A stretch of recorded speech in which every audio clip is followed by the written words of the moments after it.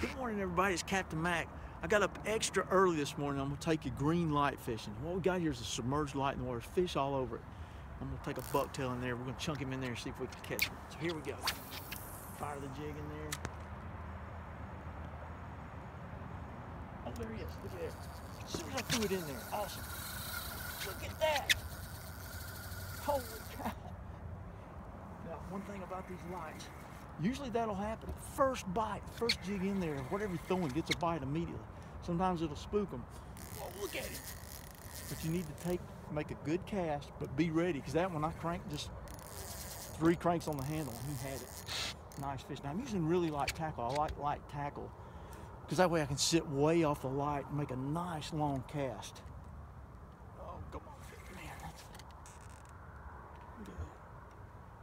Oh, I'm gaining on him now. He made a nice long run. Here's a nice. I wish you could see this. Came to the top out there. I could see his silhouette in the light. Look at that. Wow. This is good stuff. Now you gotta miss a little sleep. And you know what? I'm on Lanier, of course, my home lake. But this will work any lake that's got stripers. If you got lights, fantastic springtime technique. Not limited to spring. But April, May, man, they're all over these. It's fascinating because of the visual aspect. You can pull up there and see the fish. Good stuff. I'm just throwing a little 3 8 bucktail. Got it tipped with a fluke. Eight pound test. Man, good stuff. Man, unbelievable fight. Okay, he won't quit.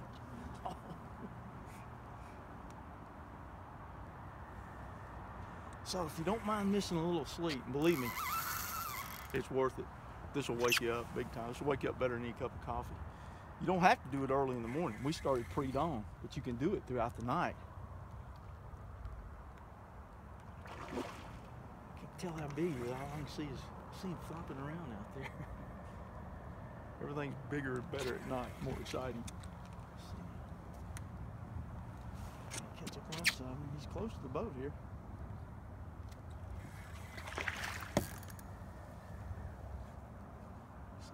finish him off here. Close. Fish. See if we can grab him.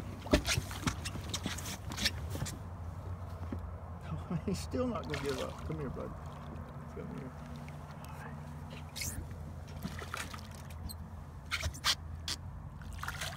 Nice fish. Look at this. Look at that. Ate that jig up. You saw it there, first cast in. Now, chances are, man, he wasn't going anywhere. This is what's nice about a jig. Single hook, you get a real high percentage of strikes to hookups. Beautiful fish, look at that. Big green light fish. So yeah, now chances are if I'd had a couple guests with me and I'd had three jigs in there, there's a good chance I get three bites. Now what's gonna happen? You catch one, two or three, whatever eh, you might get another two or three bites, but generally the fish will spook. Leave that light, go find you another one, come back to that light 30 minutes, maybe an hour later, and these guys will be right back up there waiting for you. So that was worth getting out of bed. What an absolutely beautiful fish too. Look at that, he's perfect. So we're gonna let that one go and grow. Some other angler can enjoy catching him maybe.